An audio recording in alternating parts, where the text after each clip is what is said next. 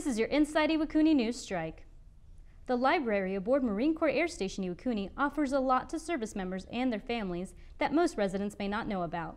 One is the annual summer reading program called Read to the Rhythm that kicks off June 17th. Lance Corporal Laiqa Hitt reports.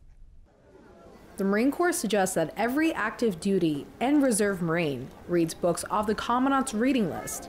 To provide more of an incentive to read, the library aboard Marine Corps Air Station Iwakuni offers a new way. Um, summer reading is we have it every year, and we also change theme every year.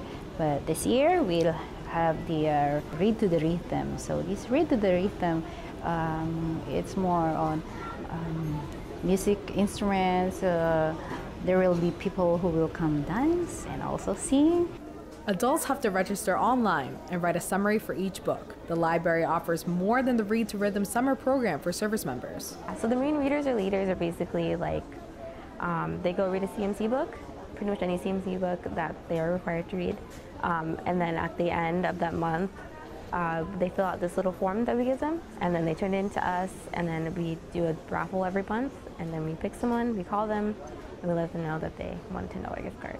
If you're interested, the first event of the Read to Rhythm summer event starts June 17th with a scavenger hunt. Reporting from Marine Corps Air Station Iwakuni, Japan, I'm Lance Corporal Laiqa Hitt.